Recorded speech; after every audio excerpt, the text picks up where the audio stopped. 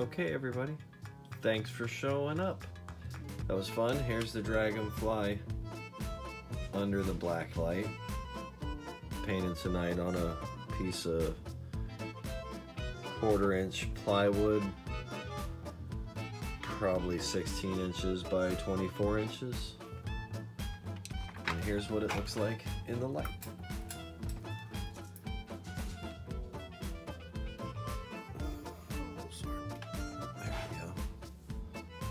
So there's the difference. Thanks for, so much for stopping by tonight. Much love around the globe. Thanks for supporting me on my Patreon, on my Spreadshirt, and anybody, anybody who tries to watch every single video. Have fun with your art. And thanks to my moderators, and always, number one, Rosie, we love you.